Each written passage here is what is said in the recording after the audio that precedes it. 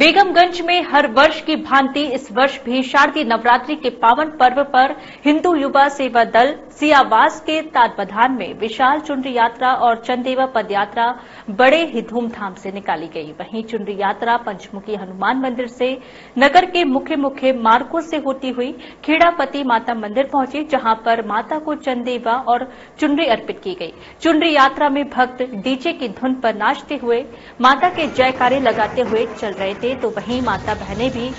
चुनरी हाथों में लेकर जय माता दी कहती हुई चल रही थी वहीं नगर के समाज सेवियों ने चुनरी की जगह जगह पूजा अर्चना की साथ ही जल पान भी कराया गया चुनरी यात्रा के दौरान नगर सहित ग्रामीण क्षेत्र के सैकड़ों की संख्या में श्रद्धालु मौजूद रहे